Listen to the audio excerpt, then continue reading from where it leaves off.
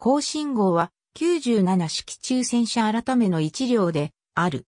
第二次世界大戦後、皇軍によって露獲され、後に第二次国境内戦における先行を称えて、甲信号の称号が贈られた。現在、この車両は人民解放軍が初めて保有した戦車として知られる。日中戦争終結直後の1945年10月、皇軍は満州の新用紙に進駐する。後に甲信号と呼ばれることとなる日本製戦車を東北人民自治軍が露獲したのは第二次国境内戦勃発後の11月のことだった。11月、新陽918交渉へと派遣された、高括指揮下の偵察隊は、日本軍が残地した軍用車両をいくつか発見した。その後、部品や人員の調達などに10日間を費やした末、戦車2両、装甲車2両、トラクター1両、自動車1両を修復することに成功した。当時、国民党軍による北東部への攻勢が激化しつつあった。間もなくして皇軍は、信用の放棄を決定し、高勝は、路角車両隊の通過方面への撤退の指揮を命じられた。しかし、各車両とも故障が頻発したため行軍は遅れ、結局出発翌日には、新陽北西の橋近くで一時停止することとなった。さらに技術員グループに紛れ込んでいた工作員により、97式中戦車1両を除くすべての車両が破壊されてしまった。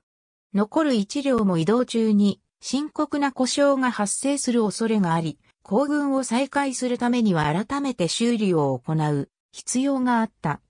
増援として派遣された孫三式下の騎兵隊とも協力しつつ、高勝は戦車の警護要員を残して918交渉に戻り、修理部品や工具などを回収することを決断する。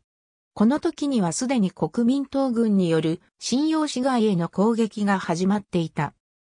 その後、戦車は予備部品や工具を満載し、東北砲兵司令部が所在する馬屋湾方面へと向かった。到着後に報告を受けた清水は諸君が我が軍にもたらしたのはただ一両の戦車ではない。装甲部隊をもたらしたのだと語ったという。建国記念パレードにて12月1日、清水は皇軍史上初の戦車隊として東北戦車大隊の発足を宣言した。この際、孫さんは大隊長に、高勝は副大隊長の一人に任命されている。高勝の回収した97式中戦車には102号車という名称が与えられ、正式に最初の皇軍戦車となった。当初、東北戦車大隊は水噴火方面のゲリラ討伐や臨港戦役における戦闘などに従事していた。大隊所属の97式中戦車は、車両自体がすでに旧式で、部品も古くなっていたことから、老頭戦車の愛称で呼ばれるようになっていた。1948年、両新戦役の一環として展開された近州の戦いにて、東北戦車大隊は初めて本格的な市街戦に参加することとなった。老頭戦車は両者3両とともに旧市街の城塞に陣取る国民党軍への攻撃を支援していたが、やがて両者は3両ともが撃破されてしまう。老頭戦車も猛烈な砲火を受けて子供損傷したが、その度に操縦手の到来タスクが車外に出て修理を行った。こうして老頭戦車は戦い続け、複数の敵火点を破壊、国民党軍の守備隊を降伏させた。この際の先行により、第4野戦軍司令部は、老頭戦車に、高信号の称号を与え、操縦手の到来タスクと砲手の後配流に対して一等項を授与したのである。その後も高信号は、第4野戦軍と共に南進し、平落戦役などに参加して、最前線で戦い続けた。1949年3月25日、党中央及び中央軍事委の西園空港到着時に行われた越兵式に参加。同年10月1日、北京にて中華人民共和国の建国宣言が行われた。高信号は天安門広場におけるパレードに100両を超える装甲車両軍の戦闘車両として参加した。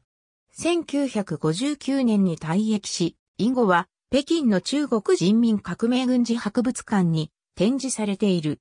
高信号は、元々の日本製97式中戦車改めと比較すると細部に差異が見られる。特に大きな差異は、全部泥よけが延長されている点、車体後方の発動機走行が除去されている点である。本物の高信号は中国人民革命軍事博物館に展示されているが、その他の博物館でも高信号と同じ改造、塗装を施された97式中戦車改めが、レプリカとして展示されている。東北砲兵司令官、砲兵学校校長。解放軍砲兵の父として知られる。ありがとうございます。